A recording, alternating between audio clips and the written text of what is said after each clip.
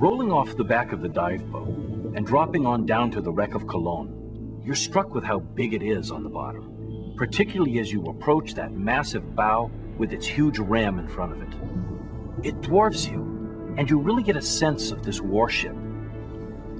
Looking at the side, into what appeared to be a shell handling room for Colon's guns, I could see empty racks where shells had once lined the walls. I could see equipment discarded in the silt. Looking up from the hull, you could see the guns lining the side of the vessel. And as we floated past them, you could see that these 57 millimeter guns, Colon's secondary armament, were among the only weapons that the Spaniards had that day to fire back. Surveying the remains of Cervera's fleet continues to be an important activity even in this modern age, long after the battle roar has passed.